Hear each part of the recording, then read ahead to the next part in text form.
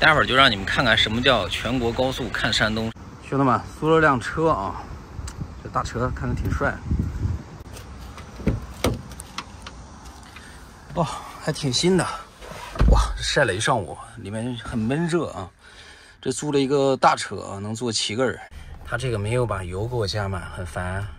我还得去专门跑一趟加油去。哎呀，这服务不行啊。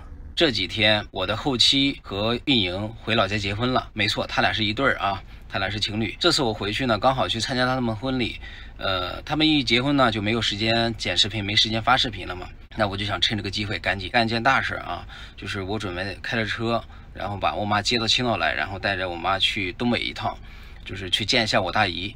我妈跟我大姨已经二十多年没见了。阿杰呢也刚好想回去，所以说这次我就带着阿杰一块回去，让他坐一下后排，感受一下老板的感觉。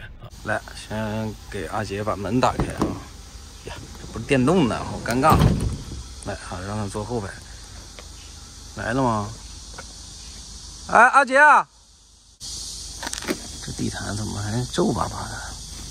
先帮我段总把这个地毯弄好啊！来，段总坐后排。哎。行，您先坐啊，坐好啊。挺不会的。段总系好安全带啊。这么烧啊？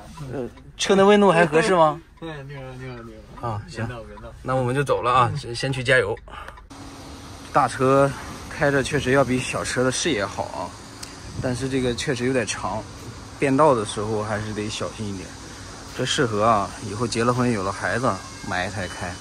但比较尴尬的是，这个电动不是电动门，这个尾门也不是电动的。它虽然说这里有一个按钮，但是哦哦五百八吧，但是你打开之后啊，还得用手开，它没地方抠啊，兄弟们，你看啊，抠这儿，嗯，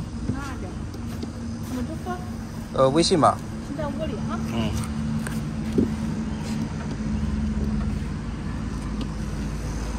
特别不人性啊！关的时候阻力也很大。所以说，商务车尽量买高配。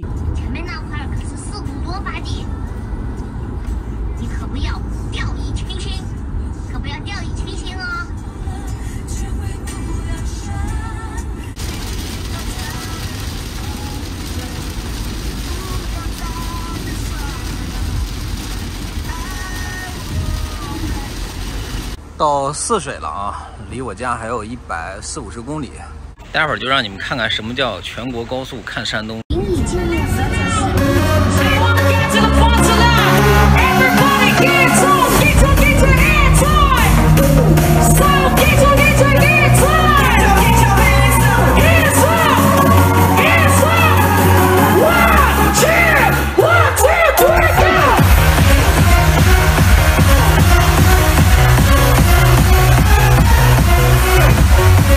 开了五六个小时到家了啊，天也黑了，有点下小雨。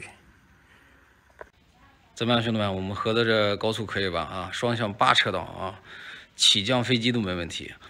那个今天视频就差不多水到这了，兄弟们。然后呢，明天呢就是去参加我们那个小伙伴的婚礼，然后明天争取再给大家水一期视频，好吧？谢谢大家支持啊，拜拜。